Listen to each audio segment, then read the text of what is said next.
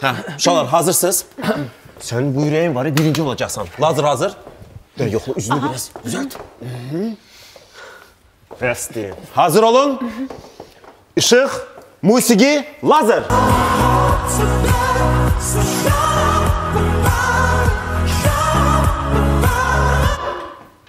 Nəsə çatışmır, nəsə çatışmır. Qaqaş gəl bura. Adın nədir? Çingiz. Xoş gördük Çingiz. Sən olacaqsan robot. Tut bu lazeri. Buraxırsan onun düz ürəyinə. Dur burada. Hazırsan? Hazırsan? Hı hı. Hazırsan mənim ürəyim. Musiqi. İş.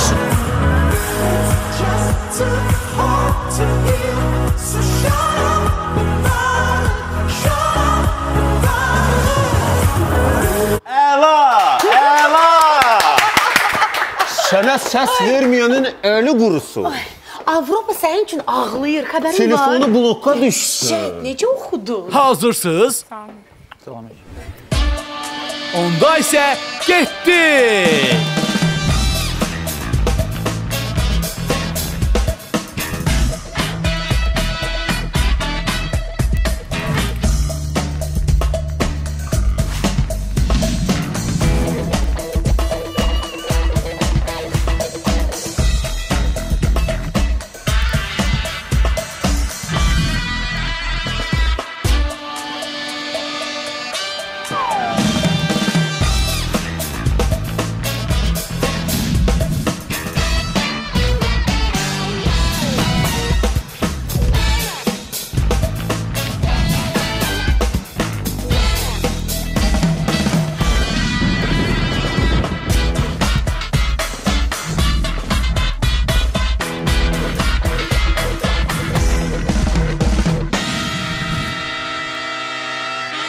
Beşinci element axtarışında başlayırıq. Hər vaxtınız xeyir, əziz və dəyərli tamaşaçılarımız. 5-ci element yenə də efirdədir. Doğma Azərbaycanımızı dünyada təmsil etmək çox təəssüf ki, hər adama qismət olmur. Bugünkü qonağımız isə bu seçilmiş insanlardandır və bu son günlər ərzində hər birimizin öz ifası ilə sevimlisinə çevrilməyi bacardı. Sizə maraqlı gəldisə o kimdir? Ona görə əlinizdəki işləri hal-hazırda bir kənara qoyun və Rider'ımızı izləyin. Onda görəcəksiniz qonağımız kimdir. Görkəmi çılğın olsa da, ifası bir o qədər həzin olan Ranar bu bayraqla sanki bizə nəsə demək istəyir. Hüsniyə də şəkli gətirməyinə gətirdi. Amma deyəsən, gözü dalıca qaldı axı. Malik isə deyir, qonaq ballı süddən başqa heç nə içmir. Kamilə də belə ecazkar görünürsə, bu gün nəsə xüsusi gündür. Və budur, qonağımız qrim otağına daxil olur. Yaraşığından bir daha əmin olmaq istəyən qonağımız ürəyi dolu adam oxşuyur ha. Beləliklə, xanımlar və cənablar, Avroviziya 2019 müsabiqəsinin iştirakçısı Çingiz Mustafayev. Salam. Xoş gəldin Çingiz. Gördük. Ya bir maskaları çıxardaq da. Adam danışmaq olmur ha belə. o şey Winnie Çingiz xoş gəlmisən. Xoş gördük, Tək xoş kimi? İlk öncə onu qeyd edirəm ki, çox xoşbəxtəm bu verilişdə olmaqdan. Çox sağ ol. Mənim üçün bu nömrə 1 verilişdir. Çox sağ ol. qeyd edim ilk əvvəldən. Yeah. Və bizim verilişimizi bilmirəm baxmısan yoxsa hər halda nömrə 1 verilişdirsə yəqin baxmırsan, Aha, ki. Çingiz. Ən verilişimizin kulminasiya anı var da bizim verilişimizdə. O da Malikin 1 dəqiqəsi rubrikasıdır. Aha. Bir dəqiqəsi rubrikası. Yəni verilişin kulminasiyası elə bundan ibarətdir. Bundan sonra hər şey Yəni bitir. veriliş bu ə, rubrikanın üzərində bu. Çingiz, indi gülməyimin səbəbini anlayacaqsan. Aha. Bəli, bəli. Yəni kulminasiya elə budur. Onda başlayaq ha. Bir dəqiqə o zinqrova basın. Aha, Getdi. Çingiz Mustafayev 11 mart 91-ci ildə Moskvada anadan olub, 6 yaşında Qazaxa köçən Çingiz burada gitarda ifa etməyə öyrənib. 13 yaşında ailəsi ilə birgə Bakıya köçən Çingiz 2007-ci ildə 16 yaşında Yeni Ulduz yarışmasına qatılıb və yarışmasının qalibi olub. Çingiz Mustafayev daha sonra musiqi təhsilini İspaniyada davam etdirib. O İspaniyada Cordoba yarışmasında çıxış edərək orada da uğur qazanıb. Həmin illərdə onun popuri söz və musiqisi özünə məxsus olan xatirələr, Vətən zəfəri mahnıları işıq üzü görüb. Çingiz Mustafayev 2009-cu ildən başlayaraq Sərhəd qrupu ilə birgə fəaliyyət göstərib. 2013-cü ildə Azərbaycanın Yurmalda keçirilən Yeni Dalğa müsabiqəsində təmsil edib. Müsabiqə çərçivəsində Polina Gagarin ilə birgə səhnəni paylaşan Çingiz Bitdi. Polina Gagarina, Polina Gagarina. Ən ya maraqlı yerdə qutardım. Polina Gagarina. Amma sən onda davam elə. Hələ çoxlu-çoxlu məlumat var burada. Yəni çatdıra bilmədim. Sən bəsimizdir. Əla idi. Hər şey çox gözəl idi Malik. Gülün, gülün. Mən elə gəlir ki, əsas məsələ indi Google-da olanlar deyil. sən onu çıxardasan Hə, nəhayət ki. Mənə gəlir ki, əsas məsələ o Google-da yazılanlar deyil. Əsas məsələ odur ki, Çingiz Mustafayev özünü bu onluqda hansı yerdə görürdü? Mən bütün insanların e, fikirlərini nəzərə alaraq özümü birinci yerdə görürdüm. Yəni istər Avropalıların, istər e, bizimkilərin fərqi yoxdur. Və həqiqətən bu belədir. Yəni istər səhnə, istər musiqi, mahnı, hər bir şey yüksək səviyyədə idi. Ümumiyyətlə mənə elə gəlir ki, üstünə ilk Eurovision mahnı yarışması oldu bu il ki, harda ki bu qədər texniki problemlər oldu, harda ki sonda da ilk dəfə də belə bir şey eşidirik ki, nəticələr dəyişilir. Hər gün bir xəbər çıxır, gah Çingiz aşağı düşür, gah yuxarı qalxır. Ona görə hələ şansı ə, itirmə. Mən gözləyirəm, hələ də ümidim var. Biri gördün ki, bir həftədən sonra artıq elan oldu ki, sən qalibsən. Qalanlar söz və qüvvət bayaq özü də söylür ki, bu bugünün e, nə- Nəticələri. nəticələridir. Görək sabah nə olacaq mənim üçün. Gələn həftə. Gələn gözləyirəm. hə. Hələ də dua etməyə davam edirəm. Ümid etməmişəm hələ. Niyə də yox yəni. Ümumiyyətlə Çingizin imici dəyişdi, ə, mahnının tərzi dəyişdi. Çingiz özü şəxsən dəyişdi yoxsa yox? Onun üçün mənə niyə baxırsınız? Mən barmaqla sənə göstərir ona görə. Niyə görə Çingiz dəyişdi deyəndə mən birinci istəyən göstərdim. Çünki üstünə dəyişdi. Çingiz bir qırağa. Mənə mənə Üç ay üstünə saçı həftədən bir Gitaradan dəyişir. 3 ay mənə şey qoyurlar. hə- Həsrət qoydular məni, qala qoydular. Yox, Çingiz insan kimi əlbəttə ki, dəyişmədi. Amma ə, mənə elə gəlir ki, bir sənətçi kimi dəyişdi. Bu stili saxlayacaqsan ə, artıq yoxsa yenə də qayıdacaqsan o Çingizə? O Çingiz deyəndə artıq e, bir ilə yaxındır ki, artıq üslubumda dəyişikliklər eləmişdim. Yəni tənha gəzən mahnım e, çıxdı. Artıq bu gün 6 milyon izləməsi var YouTube-da. Çox sevildi. Ona qədər amma ancaq gitara ilə akustik mahnılar ifa edirdim, öz bəstələdiyim. Amma yəqin ki, bu yolu, yəni bu qədər əziyyət çəkilib, bu qədər öz uğurlu e, dəyişiklik olub. Yəni bir var dəyişiklik var uğursuz. Yox, çox Bu uğurlu bir dəyişiklik olan Ümumiyyətlə bu tərz sənə çox yaraşdı. Ümumiyyətlə bu tərz Sam Smithin tərzinə oxşayır biraz. Yox, Hardasa. əslində biz Sam Smithi və yaxud heç kimi belə ə, bir nümunə olaraq götürmürdük onu fikirləşəndə. Sadəcə olaraq özü alındı, bir ə, artist seçildi, mahnı və bu tandem olaraq bir obrazı yaratdı. Mən çox istədim sən bu tərzi saxlayasan, çünki bu mənim ən sevimli tərzlərimdən biridir. Əla. Məncə qoruyub saxlayacağam. Ürəyində vəziyyət necədir? Ürəyimdə vəziyyət, yəni 10 əməliyyatdan sonra artıq biraz probleməm yarandı robotlardan sonra. Amma mən yazmışdım, e, bizim qrupumuz var WhatsApp-da ki, yəni ən çox robotlar üçün darıxıram. Həqiqətən, yəni səhnədə mən tək idim də, robotdan başqa kim yox idi. Hamı çıxırdı rəqqaslarla, hamı amma mən iki dənə robotum var idi, hansı ki, mənim o çətin anamda yanımdaydılar və ancaq onlar bilir mən nələr ki nə istər Yeri gəlmişkən və belə Çox sağ olun. Onu mənim üzərimdə əks eləmə. Çünki amma ə, məşqdə belə bir an oldu ki, bu lazer Əslində, hə, bu robotun ürək çəkirdi. fəaliyyəti Nəyə görə Çingiz belə söylədi? Tamaşaçılar ola bilsin anlamadılar əməliyyat məsələsini. Çünki ə, Çingiz söyləyir ki, bu lazer onun bədəninə düşəndə istilik verirdi, yandırırdı demək Çox olar. yəni, güclü, kifayət qədər güclü Və lazer bir idi. an ə, məşqdə lazer düzgün ə, Düzgün istiqamətə- nöqtəyə, bəli, istiqamətə getmədi. Aşağı düşdü və əslində mənim xəbərim yox idi ondan. Çünki mən oxuyurdum, yəni mən bura baxmırdım da. Bəs harda Çıxdım, səhnədən çıxdım, görürəm hamı gülür. Deyirəm nə olub, nə baş verib də? Deyirəm xəbərim var, biz ürəyim düşmüşdü aşağıda, hə? Hə, mən də o görüntünü atarım sizə, imkan olsa göstərərsiniz. Hər halda həyəcandan idi. Amma orada lazerlər də vaxtında açılmadı. O da texniki bir belə qısa qapanma baş vermişdi. Çünki İsraildə sən deyirsən nəticələr dəyişir, texniki səhvlər. Yəni 2 həftədən çox İsraildə yaşadıqdan sonra ona artıq təəccüblənmirsən də. Oradakı tempi, insanların yaşam tərzi, onların hər şey münasibətini görəndən sonra. Və əslində orada xüsusi bir insan var idi ki, lazerlər və ümumiyyətlə hər bir ölkənin e, dekorasiyalarını, yəni baxırdı ki, xarab olmasın, idarə eləyirdilər və s. Səhlənkarlıq, qoyublar dekorasiyamızı bir kənara, kabellər qalıb çöldə. Kimsə də öz ağır dekorasiyasını aparıb onun üstündən və qısa qapanma baş vermişdi. O da səhnədə baş verdi, təsəvvür edin. İstəyirsən sən indi elə danışdın ki, öz yerli televiziyalarımızda baş verən elə bir vəziyyəti danışırsan. Yəni Eurovision ə, tarixində yəni ağla gəlməyən bir şeydir ki, necə yəni orada belə bir şey ola Eurovision bilər? tarixində Amma demək da. deyil. Hə, o tez- tez-tez elə bir şey baş ə, verir belə hallar. Sadəcə olaraq burada bəlkə daha çox idi. Amma çox önəmli bir gün idi həmin o gün. Çünki müsiflər səs verirdi. Bəs iş də ondadır. Mən də onu demək istəyirəm ki, çox təəccüblüdür ki, ən ə, belə məsuliyyətli bir gündə bu ə, şou ə, demək olar ki, darmadağın olur və sizə elə gəlmir ki, bu təxribat idi? Yox, mənə elə gəlmir çünki orada başqa ölkələrdə də ümumi ə, təşkilatda da o qədər xırda ə, çatışmamazlıqlar var idi ki, o da səhlənkarlıqdan Çingizin ibarət idi. bir məşqində deməli səsi açılmadı. Söylədilər ki, ə, səs rejissoru unudub səs açmağı. İkinci məşqdə də kabel kəsildi, robotlar işləmədi. Nətər ola bilər belə? Sonra da səsləri dəyişdilər. Sonra da 7-dən düşdü 8-ə. İndi də deyirsiniz ki, təxribat deyil, bəs nədir bu?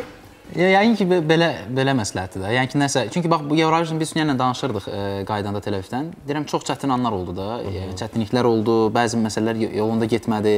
Amma bunların hamısı elə bil ki, Allah Taala düzüb qoşmuşdu ki, hər şey yaxşılığa doğru oldu. Yəni bu əmələ gələn problemlərin hamısı yaxşılığa doğru oldu. Düzdür, birinci yerə çıxa bilmədik. Amma hələ də yəni gözləyirik də. hələ də ümid var. Hələ də ümid var, düzdür.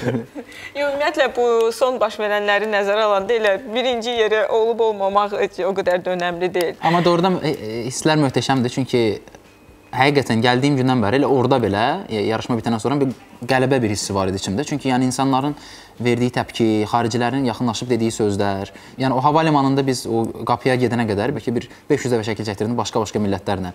Və baxdım ki, doğrudan da ham və hər kəs eyni söz verdi ki, yəni siz necə oldu yəni 7-yə çıxdınız da, siz birinci olmalıydınız. Və burada da eyni, gəldim burada da eyni. Yəni bu doğrudan da çox önəmli bir şeydir. Əgər başqa cür olsaydı biraz bəlkə də mən üstü hissi yaşayardım. İnsanlar desəydi ki, bu nədir, getdin, bizi biabır elədin və s. Amma hamı, hamı razıdır. Yəni mən dünənləri kommentlərə baxıram. 1000 200-dən çox komment var e, axırıncı e, postumda. Bir nəfər, bir nəfər baxdım ki, bəlkə nəsə neqativ yazan oldu. Bir nəfər neqativ yazan yox idi həqiqətən. Bir nəfər. Ümumiyyətlə Eurovision mahnı yarışmasında şou və mahnıdan əlavə artistin jurnalistlərlə necə ünsiyyət qurması vacib amildir. Və bu Çingizdə var idi. Amma onu da qeyd edim ki, hər artistdə qismət olmur ki, o da jurnalistlərə çox maraqlı olsun. Bu da çox qəribədir, çünki hətta hər şey yaxşı olanda həmişə tapırlar ki, mahnı yaxşı olanda deyirlər səhnə pisdir, səhnə pis, e, yaxşı olanda mahnı pisdir, ikisi də yaxşı olanda artist pisdir. E, amma burada nəsə Bu bizim delegasiyanın həqiqətən uğurudur, çünki çox möhtəşəm şəkildə işləyirdik. Bax, sən söylə də ən çox əziyyət çəkən orada kim oldu? Ürəyini belə həlak eləyən kim oldu? mən əgər öhdəlik baxımdan, məsuliyyət baxımından ən çox Hüsniyə stres yaşadı. Çünki Saçı da göy. göyərdi, ağarmadı göyərdi. Barada. Əslində mən onu deyim ki, heç bəlkə də Çingiz hətta ə, Çingizə bu gəlib çatana qədər biz yəni Hüsniyyənin bir yaxın insanları olaraq deyə bilərik ki, bu insan nə qədər stres yaşadı, nə qədər əziyyət çəkdi.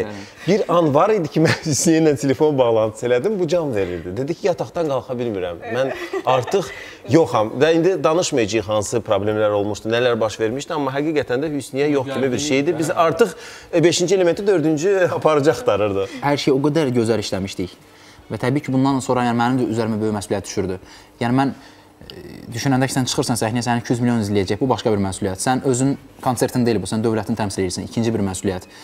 Və bu qədər komandanın qoyduğu əziyyət, yəni hər kəs ayrı-ayrılıqda öz peşəsinin e, professionalıdır. Düzdür, axırıncı günü Sniyə gördü, biraz səsimdə problem var idi. Məndə heç vaxt belə problem olmamışdı. Səs tellərimi yoxladı həkim, hər şey yerindədir. Heç bir ağrı yoxdur, heç nə yoxdur, amma səs elə bir ki e, parça qoyublar, səs çıxmır. Çox qəribə bir hal idi. Bütün dualar, da nə bilim, da dərmanlar, səhnədən 1 saat qabaq olan şeydir bu. Bu əsəbi gərginlikdir sadəcə. Hə, bil məndə heç vaxt elə şey olmamışdı. Da əsəb də yox idi. Yəni göz bəlkə də o, o ola bilər. Çünki yəni, kommentlərdən belə oxuşdum ki, bu Ramazan ayında çox dua eləyənlər var idi ki, birə çıx, birə çıxma, birə çıxma. hələ məni təbrik edənlər var idi, inansınız. Hələ hələ də eləyənlər var ki, bəs Allah sizdən razı olsun, birinciliyi gətirmədiniz. Yəni onu belə yazanlar var. İnsanları necə adlandırmaq olar ki? Bu mübarək Ramazan ayında inşallah birinci olmazsınız. Elə də yazılır. Və artıq o qədər normal qəbul edirəm kommentləri. Artıq 10 ildir bu işin içindəyəm. Və hətta ar arada çox O qədər kreativ- dualar gəlib sənə. O qədər kreativ, neqativ şeylər, e, kommentlər gəlir ki, mən onları skrin edirəm, saxlayıram yadigar üçün, göstərirəm, dostlarıma göndərirəm. Çox maraqlı kommentlər gəlir. Çingiz, əslində indi biz çoxdan tanışıq. Mənə çox təəccüblü gəlir sənin bu gün dediyin sözlər, belə danışığın, ə, fikrin. Mənə gəlir ki, ə, başa düşə bilmirəm sən həqiqətən də bu qədər dəyişmisən özün zamanla, yoxsa psixoloqlar işləyib üz- üzərində? Çünki məncə sən tam başqa cür hər şeyə yanaşırdın. var idi, onu deyək, amma çox olmadı bizimlə. Hə. Tez getdi. Helena xanıma hər kəs dözə bilmir. Özünə psixoloq lazım oldu, hə? Ümumiyyətlə Yox, bizim sadəcə olaraq bir pasient yox, bir çox pasient var idi. O delegasiya deməli 30 nəfər, 30-u da yük çox ağır idi ona görə, hə. Amma Məndə yəni ki heç bir problem yox idi. Hə, amma yox idi yox əslində. Hamısı Azərbaycana görə idi. Hamı istəyirdi ki, möhtəşəm, unudulmaz bir nömrə eləyək və bunu bacardıq həqiqətən. Yenə deyirəm, birinci yerə Mən o ilə çox çıxmadı. razıyam, çünki bu son illərdə heç bir dostumun xətrinə demək istəməzdim, amma yadımda qalan nömrələr olmamışdı. Amma bu mənə elə ki, həyatımdakı ilk ən əvvəldən və ən sona qədər və ən həyəcanla izlədiyim ə, Eurovision yarışması idi. Yəni 550 ekranın qarşısında və doğrudan çıxışın çox yadda qalan oldu. Yəni hamınıza çox təşəkkürlər dostlar. Yəni bu o deyil ki, dost artıq masamızda Eldar- əyləşib. Eldar Qasımov Onlar qalibdirlər. Söhbət onlardan getmir. Onlar Azərbaycanı ümumiyyətlə dünyaya tanıtdılar. Mən son 5 ildən də həm də danışdım. Bu ilki çıxış və bu ilki hazırlıq mən bir tamaşaçı olaraq böyük zövq aldım və çox bir də sənə baxırdım, mat qalırdım. Çünki başqa ab-havan var idi. Elə bil bir Girakl var idi səhnədə, elə bil bir qəhrəman var idi səhnədə. Kameralar dönür ətrafında. Özün də söyləmişkən, ətrafda səni bəzəyən əlavə elementlər yoxdur. Amma özün bir yaraşıq qatırdın, yəni ləzzət eləyirdi yəni. Əsas odur ki, mən bir sözü demək Əsas istəyirəm. ürək təmiz olsun. Bilirsiniz, o əlbəttə ki, orada əslində keçməzdən öncə reklamlara keçək, fikirlərimizi bir qədər toparlayaq və davam eləyək. Hə, düzdür, elə eləyək. reklamlar.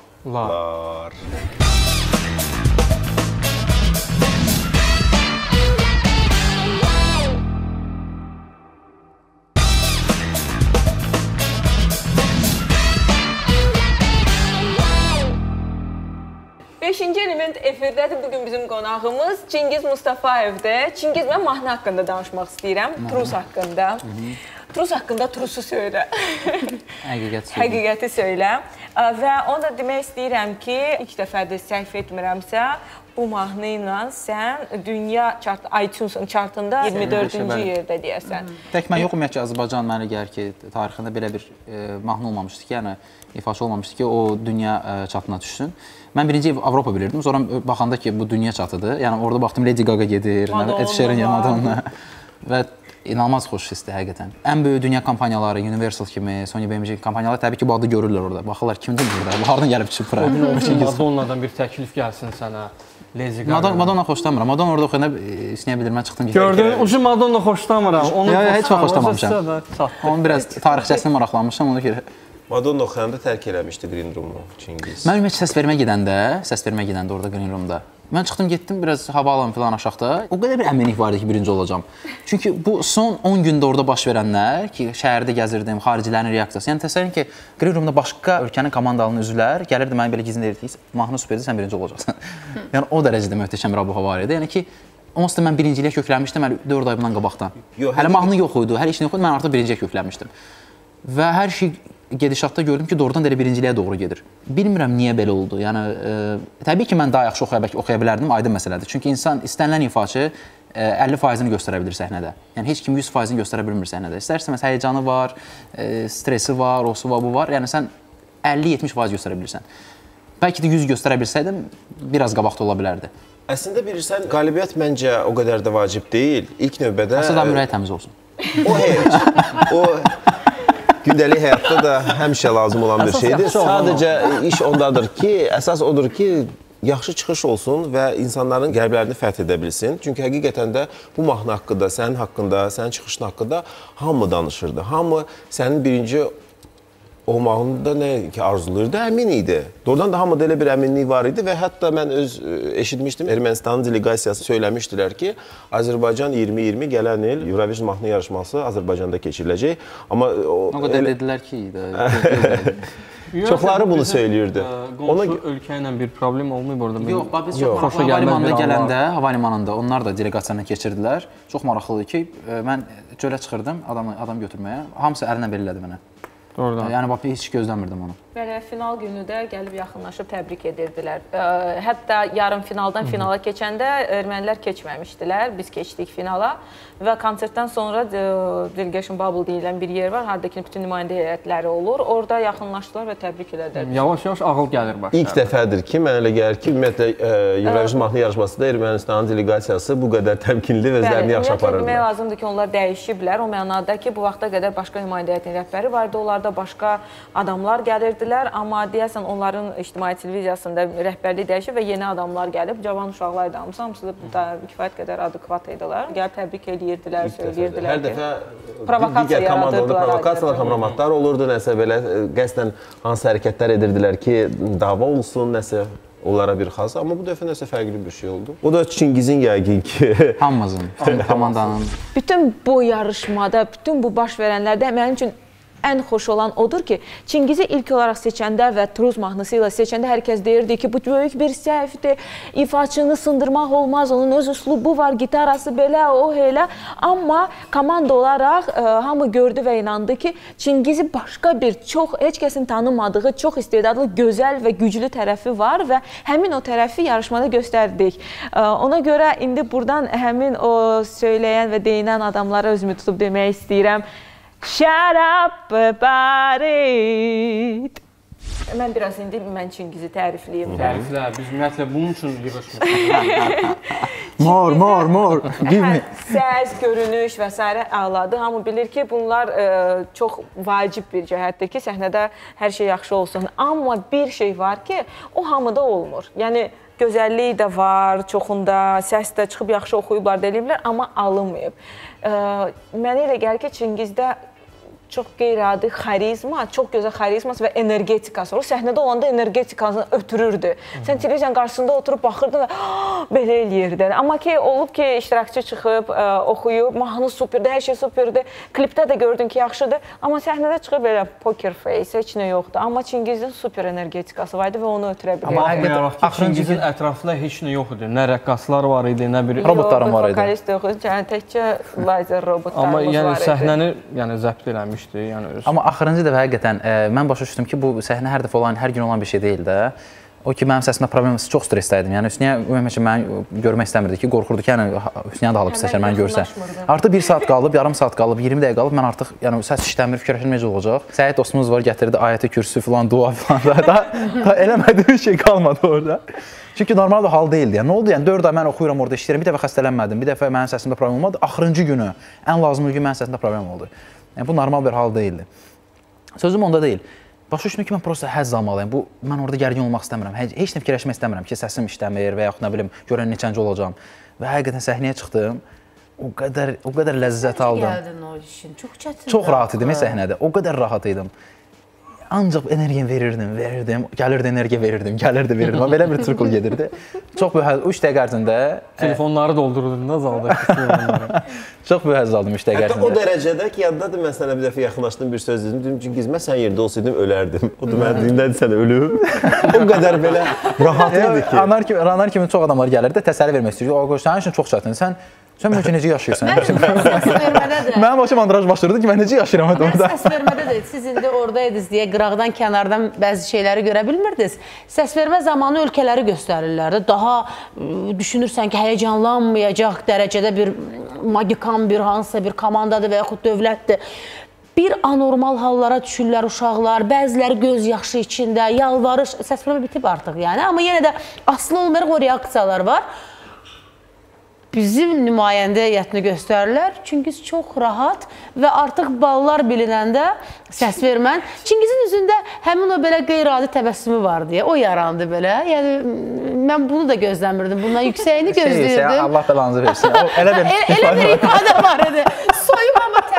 Eləməliyəm. Yəni bu başqa şansım yoxdur. Yox, o qədər rahat idim təsəvvür edin ki, birinci, yəni Bilinirdi. çox o. rahat idim. Yəni ki, Bilinirdi. Belə ə, mühüm bir müsabiqənin ə, finalisti olmaq, iştirakçısı olmaq hər bir kəsə qismət olmur və qismət olduqdan sonra da o 1 il, 4 ay, 6 ay, 8 ay yaşanan həyat var ha. Bəli. Şəxsi psixoloqlar, şəxsi komanda, şəxsi ə, idman müəllimləri və s. və ilaxır üzərində daima və daima diqqət var da. O Aha. artıq dünya ulduzları səviyyəsində olan bir anları deməyim, ayları yaşayırsan. Axır axır 10 gün 100% elə idi. Yəni ki, nə ki dünya mənə heç heç dünya olacaq o həyatı yaşamır həqiqətən. Çünki inanılmaz bir inanılmaz bir komanda şəklində bir iş prosesi gedir ki, sən ona görə vəbşi məsuliyyət hiss eləyirsən ki, yəni bu qədər insan sənə görə çalışır, əziyyət çəkir, yəni elementə stilist olsun, başqası olsun da, Hüsniyəgil olsun, fərqi yoxdur.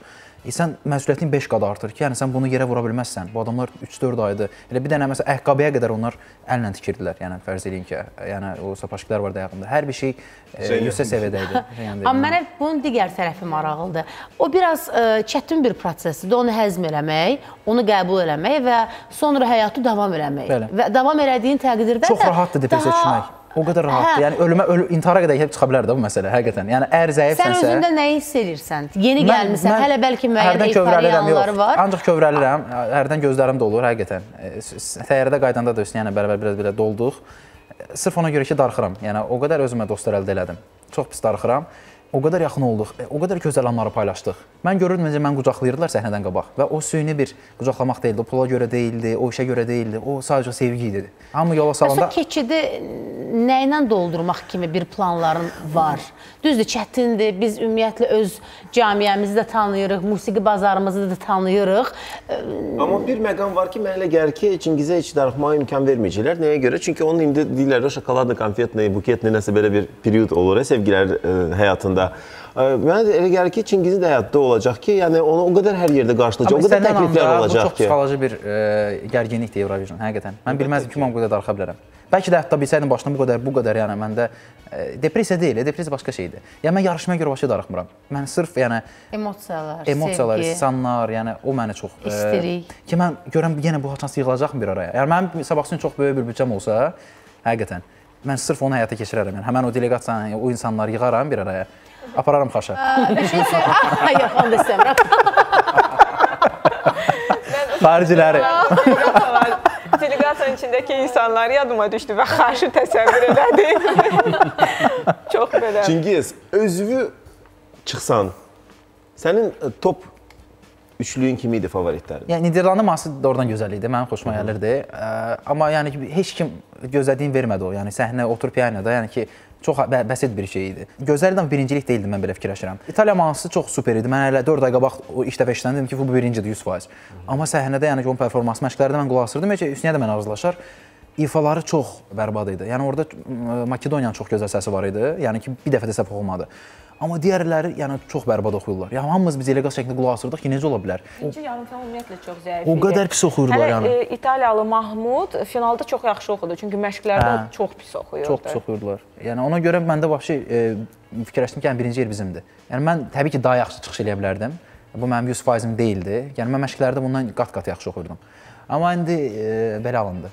Çünki Məncə bu hər şey yaxşı idi. Yox, sən çıxışma heç bir söz yoxdur, irad yoxdur. Onu sən özün özü necə deyirlər, belə özü özün özünə tənqidi yanaşırsan. Amma həmişə belədir. də, Həmişə yaxşını eləyə bilərsən, daha yaxşı eləyə bilərsən. Mən yəni bu həmişə məndə bir dəfə olmuş, mən səhnədən sonra çıxım deyim ki, o dənə super oxudum. Heç elə heç vaxt belə bir şey olmayıb. Həmişə deyirəm daha yaxşı ola bilər, daha yaxşı ola Bu bilər. yaxşı cəhətdir əslində. Mən mən Çingizdən siz nə Dedim soruşmaq istəyirəm. Ə, Çingiz bundan qabaq Ukraynada Golos yarışmasında iştirak etmişdi, sonra Novaya Valna yarışmasında iştirak etmişdi və Eurovision. Bundan sonra görəsən Çingiz gedəcəksən yenə hansısa yarışmaya?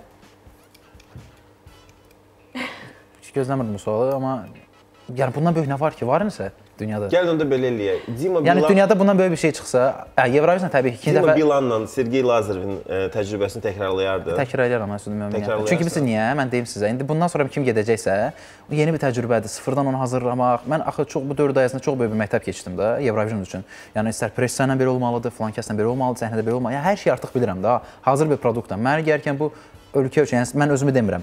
Məndən qabaq gedənlər də ola bilər, fərqi yoxdur. Biz niyə? yəni Çox Növbəti il robotları işə salacaqsa. Yox, artıq robotlar olmayacaq. Nö- Növbəti ildə mən artıq robot kimi gedəcəm ora. İfaçı üçün gedəcəm. Həqiqətən də əslində pis fikir deyil. əgər Yox, yəni bu, də bu ildən gələn ildən getmir, 2 ildən sonra getmir. Yəni haçansa bu təkrarlana bilər. Yəni burada möcüzəvi bir şey yoxdur. Niyə də yox? Gözəl arzudur. Həyata keçməyin də çox adamlar istəyir, amma şəxsən məndən soruşsalar, mən necə ki Çingizi yenidən və yenə də özüm üçün icad etdimsə, eləcə də e, bizim o qədər gənc, pırıl-pırıl, biri-birindən yaraşıqlı və şansa ehtiyacı olan uşaqlarımız var ki, onlar da getsinlər özlərini tanıtsınlar və sonra böyük səhnələrdə parıldasınlar. Niyə də yox? Yəni mən çox istəyirəm. Bu e, sırf ona görə ki, yəni bu möhtəşəm hissləri yeni yaşamaq üçün və bu dəfə alınmadı birinci yeri gətirməyə Azərbaycana. Amma bəlkə şansa bu qismət olar mənə. Çünki xaricilər də bunu yazırlar mənə. Instagramdan baxıram. Yəni bizimkilər yazırlar onsuz da bu gözləniləndir. Amma xaricilər yazırlar ki, yəni, mü- mütləq siz bir daha ölkənizi təmsil etməlisiniz bu yarışmada. Yəni bu çox xoşdur. Mən ümumiyyətlə bilmirəm bizim şəhərimiz tab gətirə bilərdimi buna? Bakı 2020, Formula 1 və Eurovision mahnı yarışması təsəvvürsüz hamısı Biraz çox olardı əmələ gəlir. biraz çox olardı. Ona görə bəlkə kitab gətirə bilərdi çünki artıq hər şey hazırdır. Əvvəlki kimi deyil, bütün otellər var. Onda gözləyin də, hələ ümid- hər şey var. ümidimizi üzməyək. Qaldı, e, Görə qaldı. nəticə gələn həftə nəticə nə olacaq. Mənim bir balaca rubrikam var, e, Çingiz. Mən indi onu eləyəcəm. Çox asandır. Bir sual verirəm, ondan birini seçirsən. Misal üçün ağ yoxsa qara desən, Okey. ya ağ ya qara və s. Amma iki versiyanı eləməyə e, cı- cığallıq sayılır, olmaz. Getdik. Keçmiş ya gələcək? Gələcək. Uzun saç yoxsa qısa saç? Qısa saç, Öz bəstələrin yoxsa başqa mahnılar? başqa mahnılar. Ürək ya ağıl? Ürək, Müğənni olaraq yaşlanmaq yoxsa milyoner olaraq yaşlanmaq? insan olaraq. Yox. Ya müğənni. Yaxşı. Gitara yoxsa saz? Gitara, Qısas almaq yoxsa bağışlamaq? bağışlamaq ancaq. Lady Gaga yoxsa Madonna? Madonna deyək də. İspan mahnıları yoxsa Azərbaycan mahnıları? Azərbaycan mahnıları. Samir Elnur dueti yoxsa Nigar Eldar dueti? Samir ilə Elnur böyük ihtimalle. Bu qədər asan. Məndə bu qədər deyil. Sol tərəfdəki robot yoxsa sağ tərəfdəki robot? Mən onlara ad qoymuşdum bilirsiniz də. Məndə press konfransda soruşdular ki, bəs xarici soruşdu ki, bu robotların adları var. Mən özümü itirmədim, dedim Pakisə və İqbal. Doğrudan da elə. Həqiqətən, hə. Sən orada istəyən biri. İqbal da tanıyıram, Pakizə də tanıyıram. Mən tanımıram, tanımadım Doğrudan görürəm. Mənim ən sevdiyim biridir. Onu da söyleyeyim. Hə, Ona görə mən sən. çox güldüm və çox xoşuma gəldi ki, sən robotlarından biri mənim sevdiyim bir insanın adıdır. Və Pakisələr üçün, İqballar üçün indi hal-hazırda biz reklama çıxmalıyıq. Ona görə də onlar bizi gözləyir. Ona görə də yenə deyirlər matrisanı yazdıra bilərəm reklamlar. Yandım.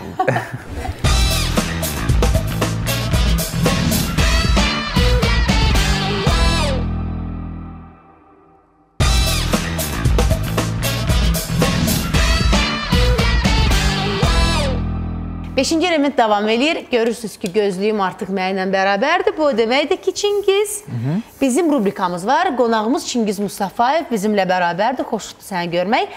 Ə, Bilmirəm sənə nə qədər bizlə xoşdur, Çox. amma rubrikamızdan sonra görək nələr baş verəcək. Ə, Rubrikamız çətin deyil. Asanlı sual verirəm, amma sən cavab verməzdən öncə dostlarım suala cavab verirlər. Əgər sən sən onların da variantını seçə bilərsən, çünki burada qalib də ola bilər üçündən biri. Aha. Və yaxud da söyləyə bilərsən ki, heç birinin variantı məni qane eləmədi, mənim öz variantım budur. Okey. Okey? Razı. Çingiz Mustafayevi Eurovisionda ən çox nə qıcıqlandırırdı? Ranar, Conchita. Hüsniyə, Kondisionerlər. Malik, Məncə lazerlər. Çingiz. Ə, Conchita. Bir xal, bir xal Ranarda var. Çingiz Mustafayev özünün hansı xüsusiyyətini sevmir? Hüsniyə, Oy, mən bilmirəm. Mənə elə gəlir Çingiz özünü çox sevir. Malik, Səsin hərdən bir batmasını. ə, Ranar, Error falan 404. Bax, həmin o vəziyyətini sevmir ki, bəzən özü də error verir.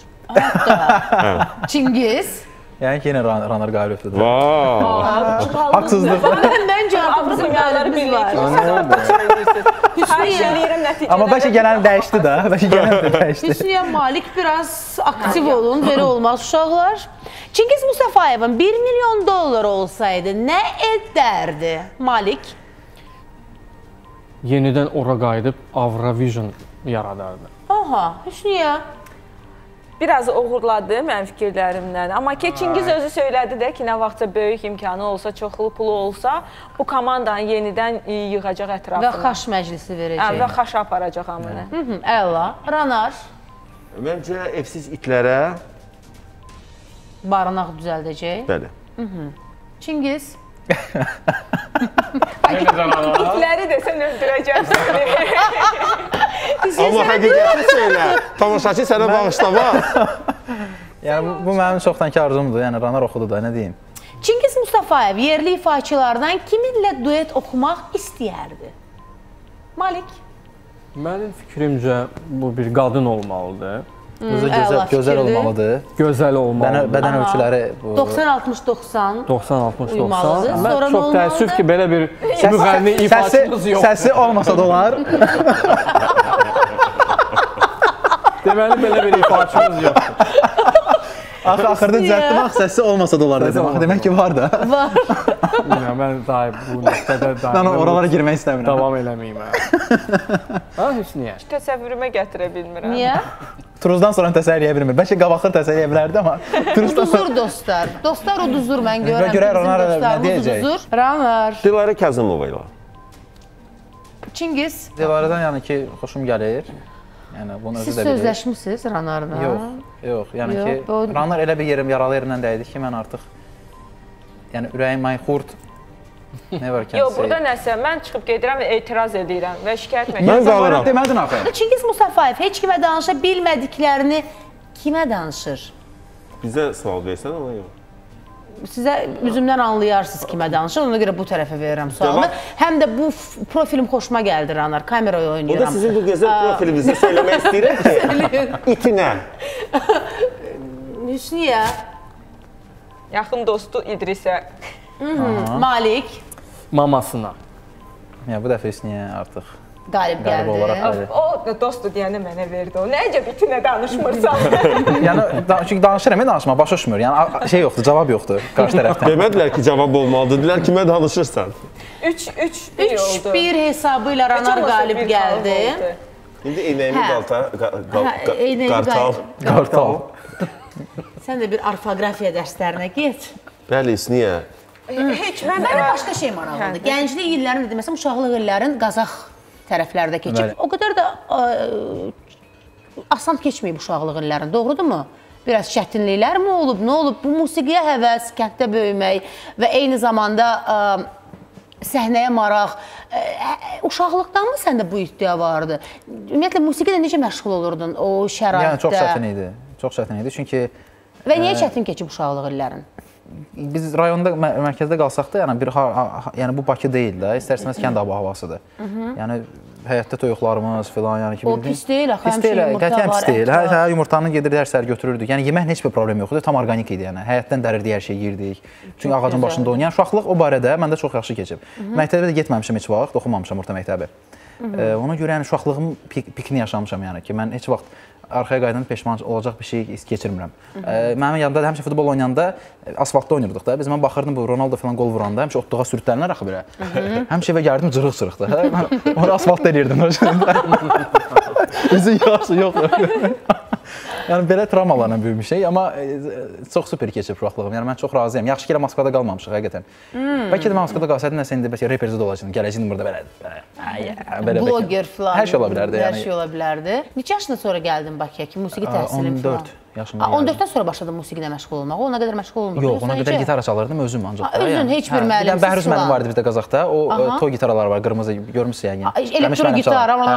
ondan. Ya, Başqa müəllim yox idi. Mən məcburən Aa, Bəs gedirdim. elektro gitara, yəni elektro gitara da öyrənmisən ilk. Hə, yəni ilk, ilk, ilk onda başlamışam. Muğamlar yəni filan də. belə, yəni ki, mizrabı götürürdüm. yəni ləzzət edirəm. Əlbəttə. söyüş söyənsən. Yəni ümumiyyətcə yox, hamı bilir. Sevmirəm, amma çox Hamı çox da qazaqlı olmadı ki. Hə, nəsə mən də onda şübhələnirəm ki, nəsə nitodur. Nəsə nitodur. Çünki bir tərəf papa tərəf Gəncə tərəfə gedir. Amma nənəm, nənəm onun yəni kitabını yazar. Hətta Çox kreativ söyür, yəni ki, inanılmaz kreativ söyür. Çox maraqlı şeylər fikirləşir. Yəni, Baxır indi bizə. Nənə hal-hazırda biraz sağlamda bir problem var. Son e, son neçə aydır. E, Amma söyməyə davam edir yəni. O o o heç vaxt ondan getmir, uzaqlaşır. Çıxışına, çıxışına bir baxa bilib. Yox. Yox, baxa bilmir. Evet, bilmir ki. Mən özüm heç Eurasiyanda olanda səs vermə gedəndə, orada oturanda Deyirəm amma baxsaydı nə Heç mən bilmirdim orada nə baş verir. Mən başım çıxmır. Kim hara nə səs verir? Prosta rahatım ki, birinci olacam. Dedim çöldə gəzirdim, gəlirdim. Nə oldu? Kim kim şey kim kim ikinci yerdədir? Baxdım ikinci yerdə, əla, indi, indi qalxacaq. Sonra düşdü 7-ci yerə. Bizə səs verdilər, 100 bal verdilər də. Hüsniyə yanımdadır. Deyirəm Hüsniyə, e, nə oldu da indi? Deyir Hüsniyə dayandı hər şey. Da bundan artıq qalxmayacaq. Deyirəm necə qalxmayacaq? Yəni yuxarı qalxmayacaq. Yox deyirəm aşağı düşə bilərik də həndən sonra. Yəni yuxarı qalxmaq kimi. Mənim üçün şok idi bu. Necə yəni qutardı? Yarışma davam edir, səs verim, amma bizdə artıq qutardı, biz artıq qalxmayacaq. Yəni bu orada artıq mən hiss elədim ki, Mayxurt döyünür. Bu dəfəki Tel-Əviv səyahətindən ən yadda qalan oldu ki, Tel-Əviv çox bahalı şəhərdir. Ə, müqayisə üçün deyim, bir qamburgerin qiyməti 35 manat. Ə, ATV-dan bulvara getmək üçün taksidən istifadə edirsinizsə ə, 50 manat. Restoranda 3 dənə salat sifariş elədik, 2 dənə kokteyl, e, 300 manata yaxın. Necədir sizin üçün? Yadınızda qalardı? Çingiz, sən bu günləri bu veriliş vasitəsilə də bir şansın var ki, ürəyindən keçən bəlkə elə şeylər var ki, biz bu gün ötürə bilmirik sənə sual formasında. Nə düşünürsənsə bu sənin bir əlində olan vasitədir. İndən sonra Eurovisionda bəlkə də 50 dənə, 100 dənə ifaçı gedəcək. Mən bilirəm ki, heç kim mənim qədər bunun dadını çıxarda bilməz. Və bunun üçün yalnız e, insan dərk etməyi bacarmalıdır. Mən dərk elirdim orada ki, mən hardayam və bugünkü gün dərk edirəm ki, mən nə yaşadım və bu çox önəmlidir. İnsan var ki, də hələ gedir, oxuyur, gəlir, hə- də başa düşmür yenə- də. Depressiya düşür, pis olur, amma dərk eləmir ki, nədən keçdi, hansı yolu keçdi. Mən bunu çox gözəl başa düşürəm və bir daha təşəkkür edirəm hər kəsə, Hüsniyə başda olmaqla. Hər şey çox möhtəşəm idi. Bu mənim beynimə yazıldı, bir ömür boyunca heç vaxt silinməyəcək. Nə yaxşı ki, bu mən bunu yaşadım və e, dəstək olan hər bir kəsə bir daha təşəkkür bildirmək istəyirəm. Dostlar, tanışlar və Moskvadan e, bizim Azərbaycanlı iş adamı Qod Nisanov da çox böyük dəstək oldu mənə. E, Bütün dəstək olub olmaq istəyib ola bilməyənlərə də hər kəsə təşəkkür bildirirəm burdan və mən bura həqiqətən qalib içindən qayıtdım. Yəni içim çox rahatdır və alnım açıqdır. Elə də varsan. Təşəkkürlər. Elə də varsan.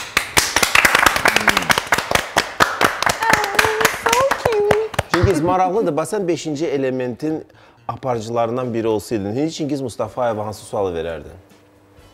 Utanmırsan iç saxlamağa. Utanmırsan iç saxlamağa? Utanmırsan iç saxlamağa Çingiz. Yox. Heç utanmıram. Çox kreativ. Gəlin bu sualları artıq Bu mənim suallarım deyil, əslində bu kommentdən gələn suallardır. Mahnı oxuyaq da, sual verməyək, mahnı oxuyaq. Mən təklif edirəm ki, biraz da e, danışaq. Çingizin gitarası da burdadır. Getmək istəmir. Ya, Mən Malik görürəm ki, istəmir veriliş qutarsın. Yəni onun, xatirinə istəyirəm biraz uzadaq. Ona görə biraz uzadırıq. Mən də maksimum oxuyaq. slow, slow, slow versiyada oxuyacağam, akustik versiyada.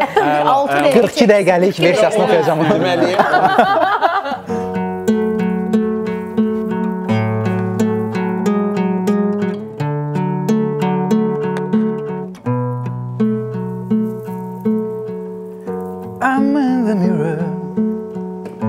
so freaking bitter, but I gotta get through.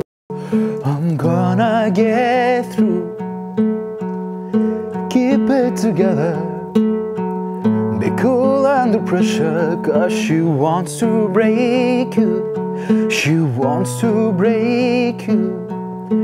Drink till I forget.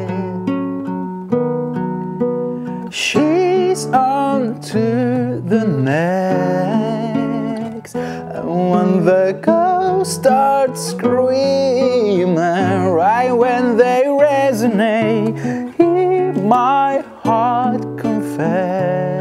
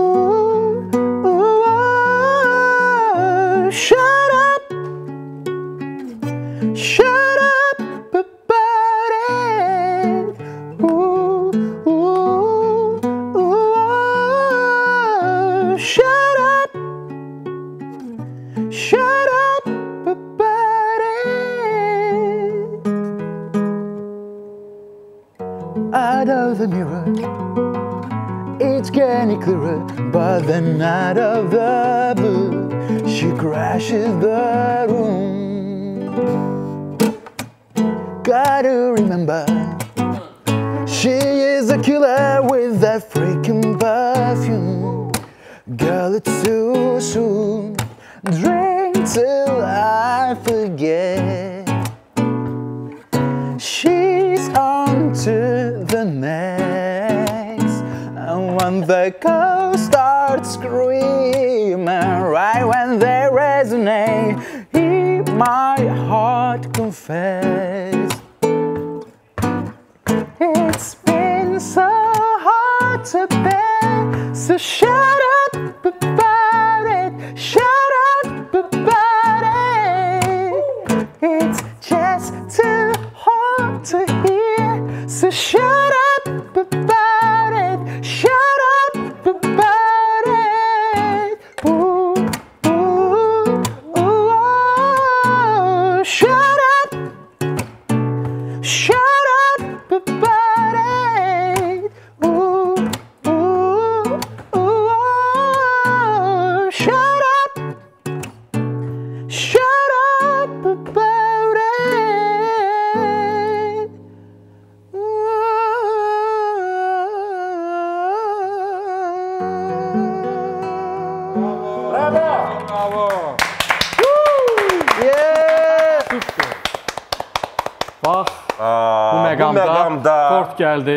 Üstəki nədir onun? Moruq cake Üstəki sənin Mikrofon. orada əldə edə bilmədiyin mikrofon.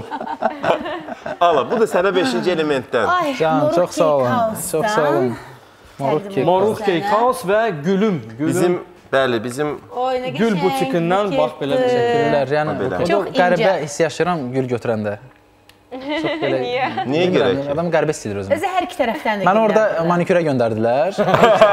Baxsız deyirəm. Anladıq. Yəni o hiss çox qəribə bir hissdir. O ki, əlini belə uzadırsan belə.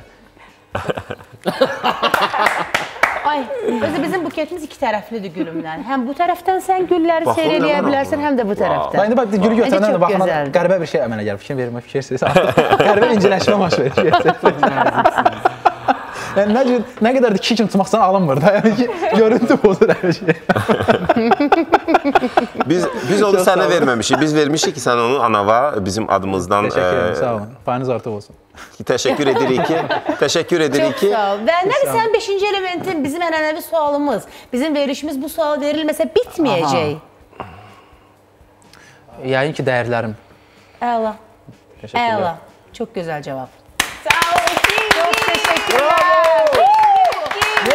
Çingiz çempion, Çingiz çempion, Çingiz çempion, Çingiz çempion, Çingiz çempion. Gələn həftə, gələn həftə ola gözləyin. Çempion gələn həftə olacaq. 4 elementi efirə hazırlayan Nirrin Sağlamlıq və Gözəllik Mərkəzinə, xüsusən stilist İkram Əliyevə, tok şounu daha zövqlü eləyən Zel Home mağazalar şəbəkəsinə, verilişimizi təravətli güllər və hədiyyələrlə təmin edən Gülüm Gül mağazasına, verilişimizə təşkilati dəstək göstərdiyi üçün Hivə Pink mağazalarına, qonaqlarımızı dadlı təyamlarla təmin edən Moruq Cake House-a, Foto çəkilişlərimizə görə fotoqraf Asif Əliyevə, informasiya dəstəyinə görə ATV Az, Baku WS informasiya portallarına dərin minnətdarlığımızı bildiririk. Bir daha bütün şəxslərə və şirkətlərə təşəkkürümüzü bildirmək istəyirik ki, 5-ci elementə daim dəstək olurlar və öz adımızdan da istərdik bütün Çingiz Mustafayevin pərəstişkarlarına, ona dəstək olanlara, ona səs göndərənlərə, bütün dünya Azərbaycanlılara təşəkkürümüzü bildirək. Çox sağ olun ki, varsınız.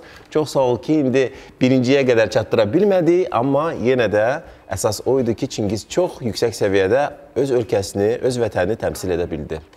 O uşaqlar bilmirəm, amma doğrudan da razıyam Hüsniyə sənin dediklərindən də. Ə, sən səhnədə deyirdin necə enerjini ötürməyi bacarır. Mən burada da onu yəni, əməli başlı hiss olunur ki, özünə arxayındır, sözünə arxayındır. Yaşadıkların dadını çıxartmaq biraz gülməyə mənə ya. Biraz o müəyyən yaşdan sonra insanlar başlayırlar ki, "A bizim keçmiş ağlımız olsaydı filan, daha dadını çıxardardım həyatım." Amma belə gənc yaşında o bu qədər rahat bunu söyləyir və bunu dərk edir. Valla bravo ona. Və onu yaşayıb, hiss eləyibsə, bütün kletkalarından ötürübsə, mən məsəl üçün bəzi məqamlarda şey olurum ki, ay da necə oldu axı mən getmədim, necə maraqlıdır bu il. O əvvəldə şokoladları mən şokolad xəstəsi, yəni mən bütün o deyirəm mən də Hüsniyə ilə bir otaqda qalardıq, ay qucaqlayardıq. O bu Eurovision keçirilir şokolada görə görə. Şokolad var idi, mənim yadımda deyil. Hə, o Paylamırdılar pulsuz şokolad Eurovisionda.